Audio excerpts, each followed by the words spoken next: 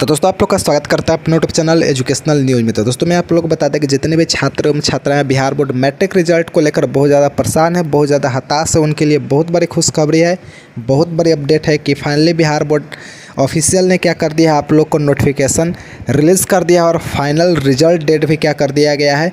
दे दिया है कि आप लोग का रिज़ल्ट इस दिन इतने बजे जारी किया जाएगा। तो चलिए आप लोग को वह नोटिफिकेशन दिखा देते एक चीज़ दोस्तों, आप लोग को नोटिफिकेशन दिखाने से पहले मैं आप लोग एक चीज़ ज़रूरी चीज़ बता दूँ कि अगर आप लोग मेरे चैनल पर नया होंगे तो चैनल को क्या कर लीजिएगा? सब्सक्राइब कर लीजिएगा और बगल में बेल आइकन होगा, उस कॉल पर प्रेस कर लीजिएगा ताकि जैसे ही मैं इस तरह का अपडेट करूँ, आप लोग को सबसे पहले मिल तो चलिए आप लोग को वह ऑफिशियल नोटिफिकेशन दिखाता हूँ दोस्तों।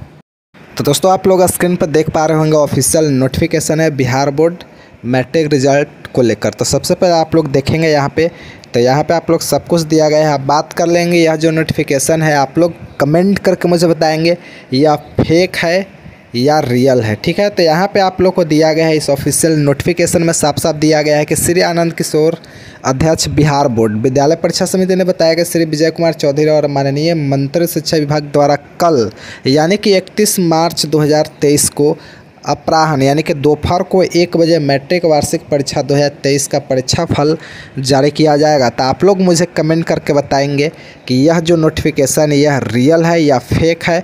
और तमाम आप लोग देख रहे होंगे कि यूट्यूब पे यही छाया हुआ है कि बिहार बोर्ड मैट्रिक का रिज़ल्ट कब आ रहा है। तो 31 मार्च को दोपहर को एक बजे जारी हो रहा है। तो ठीक है तो चलिए आप लोग मुझे कमेंट करके बताएँगे यह नोटिफिकेशन रियल है या फेक है। तब तक के लिए मैं आप लोगों से मिलते हैं ऐसी अपडेट के साथ नेक्स्ट डे